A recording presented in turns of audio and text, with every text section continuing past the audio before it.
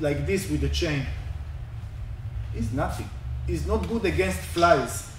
It's nothing. Okay? You know this kind of work that they do on the beach in Goa.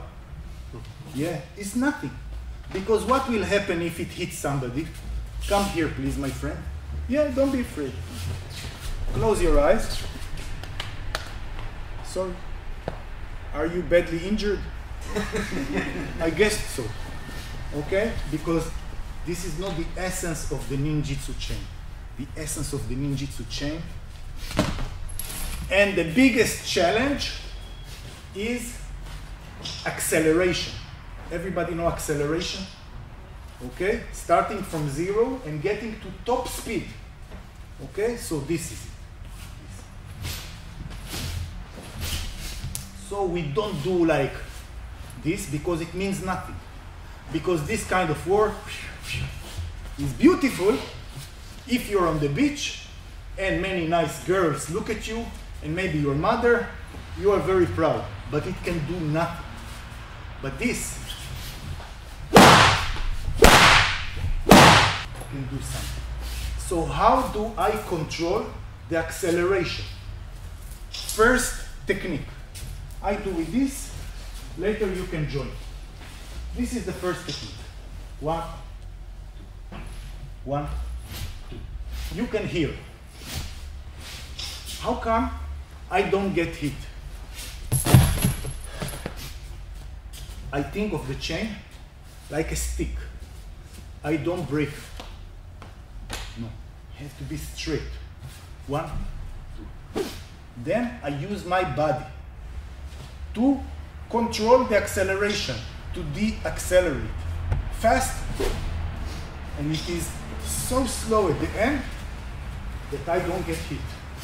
This is not like nunchaku. Nunchaku, most of the time, not all the time, same acceleration. Fast, fast, fast, fast, fast. Very good, very good weapon. But with the chain, is a completely different concept. It's a genius weapon. Let me say another thing before we start to practice.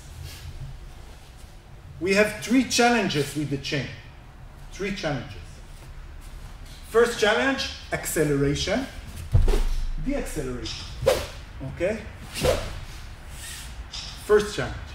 Second challenge, since the acceleration is so fast, how do I come back? Because if